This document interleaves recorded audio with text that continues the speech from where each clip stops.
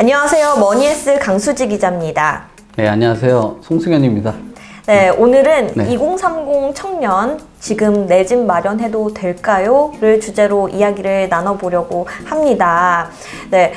최근에 서울 마포구에서 이제 전용 면적 84제곱미터가 국민 평수로 불리잖아요. 이제 전용 면적 84제곱미터 아파트가 20억 원대에 진입하는 이슈가 있어서 큰 화제를 모았습니다. 마포구 연미동의 마포 프레스티지 자이인데요. 네, 입주권이 지난달 19일에 22층이 20억 원에 거래가 됐습니다. 이 해당 면적 아파트가 20억 원을 돌파한 것은 일반 아파트 기준으로 서울 비강남권에서 동작구에 이어서 두 번째입니다.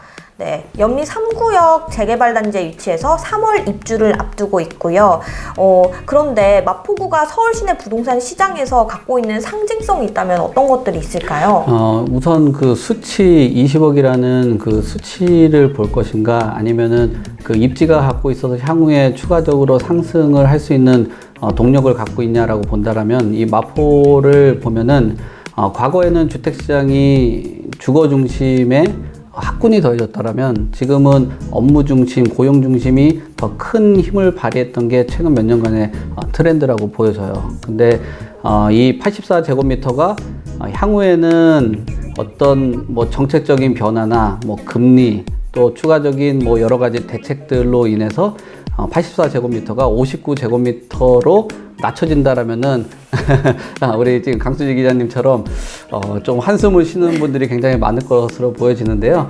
어, 앞으로 이런 그 트렌드 말씀하셨던 어, 우리가 갖고 있는 시장의 상징성으로 봤을 때는 어, 요번 그 84제곱미터의 20억은 큰 뭐 방점을 찍었다라고 표현을 할 수가 있을 것 같습니다.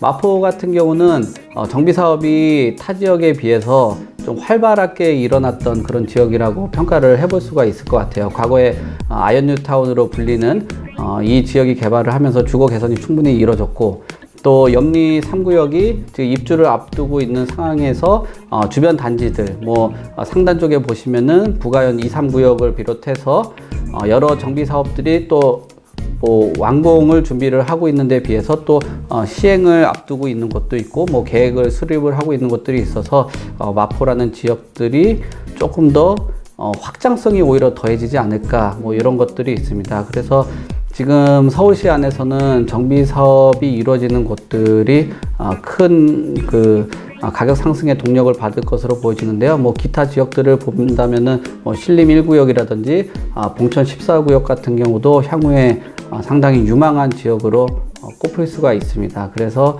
어, 84제곱미터의 20억은 어, 마포뿐만 아니라 서울시 안에서 특히 정비 사업이 완료되는 그 지역에 큰 방점을 찍었다라고 평가를 해볼 수가 있겠습니다. 네, 마포만 보더라도 이렇게 집이 많이 올랐는데 네.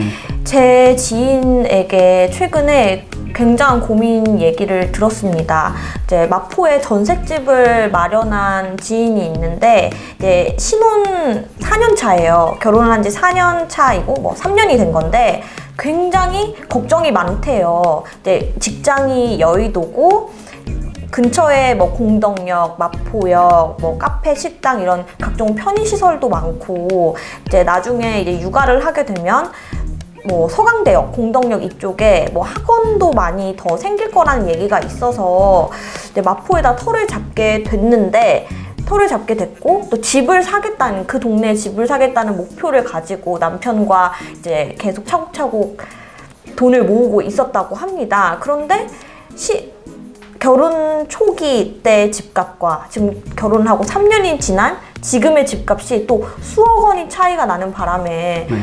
계획이 다 어그러졌다는 거예요. 이렇게 좀 청년들, 청년뿐만 아니라 좀 모든 세대에게 다좀 통하는 얘기일 텐데 집값이 계속 오르고 있어서 굉장히 걱정이 많습니다.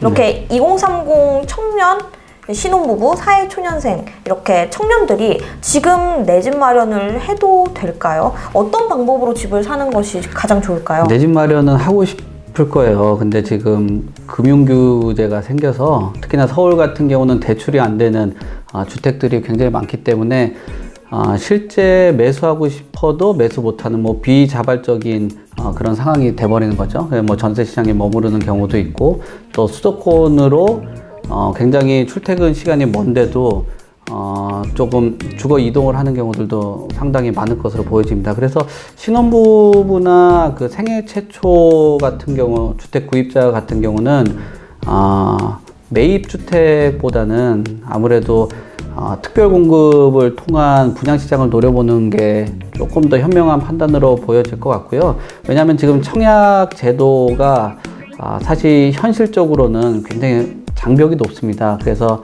어, 청약에 대해서도 사실 조금 예전보다는 그 기대치를 낮추는 게 좋을 것 같아요. 만약에 어, 어떤 기대를 갖고 어, 내 집 장만을 하겠다라는 생각을 하면은 어, 교통망을 통해서 서울하고 교통망이 좀 개성되는 지역들 이런 곳이나 어, 서울에 좀 인접되어 있는 지역들의 청약 시장을 한번 노려볼 거 노려보면 좋을 것 같고요.